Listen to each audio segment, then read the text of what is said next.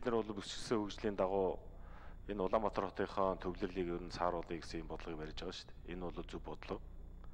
За зүгээр эдийн засгийн хүчин чадал өнөөдөр өв маргааш уу гэдэг асуудал яригдах бах. Гэхдээ одоо олон жил ярьсан энэ шийдвэрээ гаргаад явах нь бол зүйтэй гэж харж байгаа.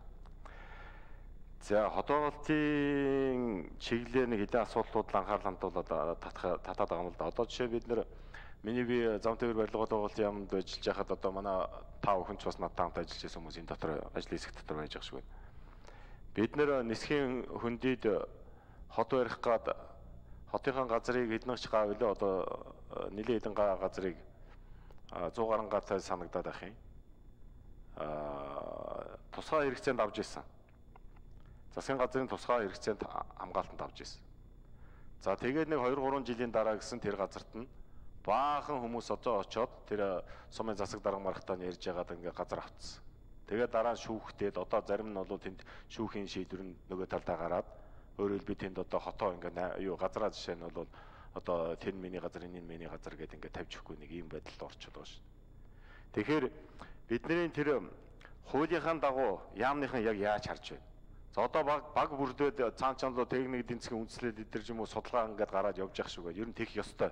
Тэгжээж нэг тодорхой хэмжээний техник эдийн засгийн үндэслэл гараад тэгээ тэрнийхээ дагуу хідэн гад ямар хэмжээний хот байгуулагдах юм гээд За одоо чинь гişүүд асуугаад байх шиг байна. Ер нь бол хэдийн хэмжээний гад талбад байх хэвээр ингэж асууж байх шиг байна. Хэдийн хэмжээний хөрөнгө оруулалт орох хэвээр ингэж байх шиг байна. Тэгэхээр энтэйгээ уялдсан техник эдийн засгийн үндэслэл гаргасан тэр ажлын хэсэгчнүүд бол гарах бах.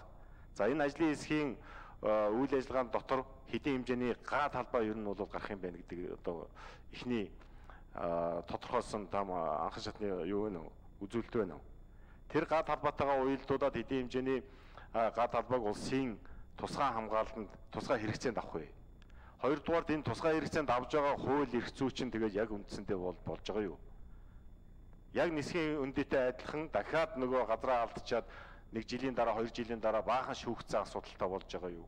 Энэ яг юунаас болоод өгцгий?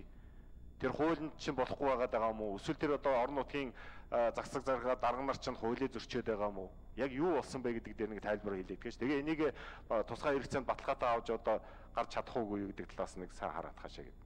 Хоёрдугаар төлөвлөлтийн асуудал устай холбоотой, дэд үсттэй холбоотой асуудал, хөрсний шинжилгээтэй холбоотой асуудлууд урд өмнө бол хот байгуулагдаж явж исэн тэнд бол арай гайгүй болоо гэж бодож байна. Гэхдээ тэр байдлаас одоо ч усны хангамжийн асуудлууд нь ямар хэмжээнд байгаа. Инженерийн дэд үс талаасаа бол ямар ч байдлаар харж байгаа. Хот байгуулахад зарим газар бол өндөрлөг нам гэсэн асуудлууд ч бас байдаг шүү дээ. Хот байгуулалтын та нар бол геодез судалгаа талаасаа бол харж байгаа. Энэ судалгаа талаасаа бол эхний гарсан дүгнэлтүүд чинь ямар шүү байгаа вэ гэсэн ийм хоёр асуулт хоёр дахь асуулт байна. За тэр ерөнхийдөө бол эдийн засгийн үндэслэлээр хэдийн хэмжээний одоо төрийн захиргааны байгууллагуудыг наад зах нь одоо байгуулах бий болгох төрийн үйлчилгээ үзүүлэх барилга байшин зам харгуу дэд үтс барихад ер нь хэдийн хэмжээний хөрөнгө оруулалт ер нь орох ёстой вэ гэсэн нэг тийм төсөөлөл байна уу? Энэ гурван асуултыг хариулж өгөөч. Баярлалаа. За 83 магнаас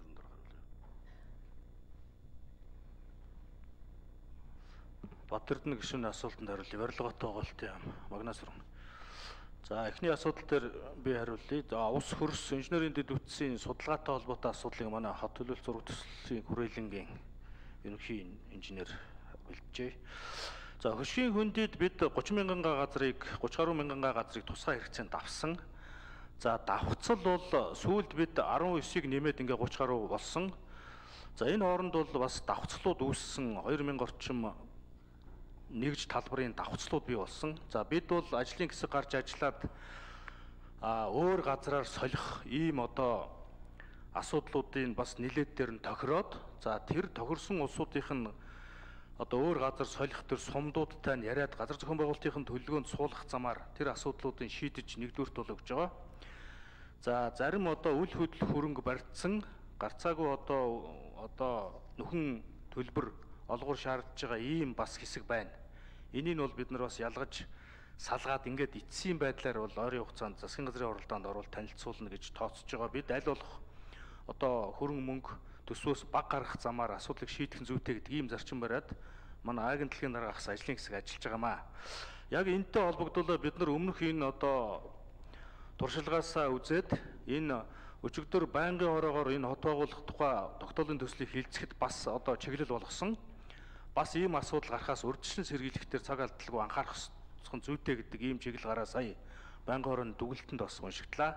Тэгэхээр бид энэ дээр одоо холбогдох чиглэлүүдийг өгнө. А ер нь бол нөгөө сумын газар зохион байгуулалтын төлөвлөгөө аймгийн газар зохион байгуулалтын төлөвлөгөөнүүд батлагддаг энэ оны юугаар ихээр тэгэхээр энэ дээр бид нар энэ одоо асуудлыг нь бол одоо онцгойлон анхаарч энэ асуудлыг шийдэж өгнө гэсэн ийм тооцоодоо байгаа.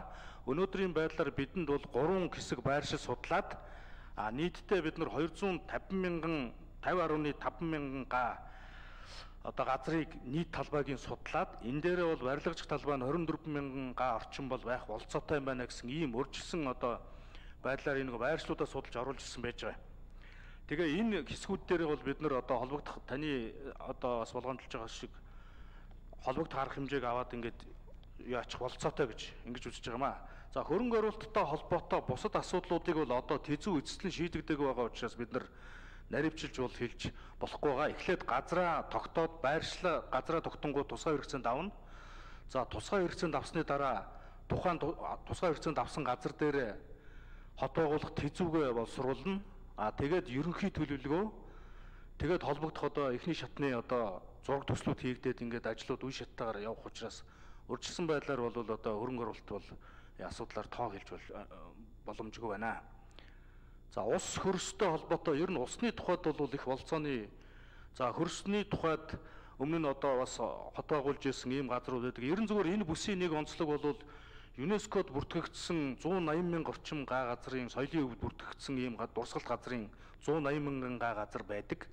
За энэ га газрууд дээр бол орохгүйгээр энэс одоо залгаж л одоо энэ газруудаа бид нар судалж ингэж байршлуудаа судалж оруулж ирж байгаа. За хуулиар болоод олон улсын нөгөө конвенцоор бол энэ соёлын өвд бүртгэгдсэн ийм газрууд дээр бол хот байгуулах болоод бусад инженерийн дэд үтсийн хангамж барих ийм бол бололцоо нь бас хаагдмал байдаг.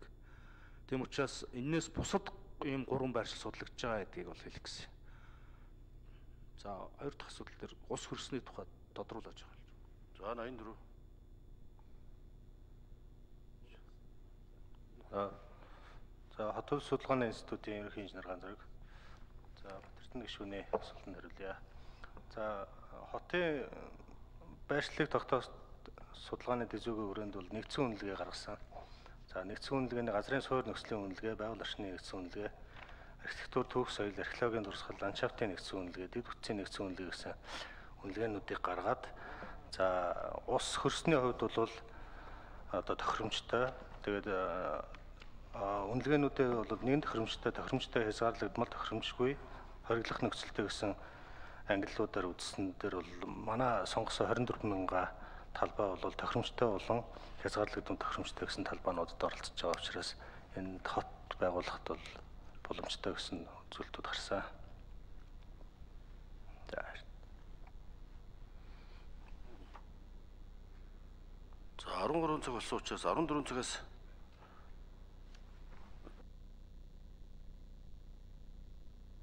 자, 아론도는 제가 그렇게 적은 사람.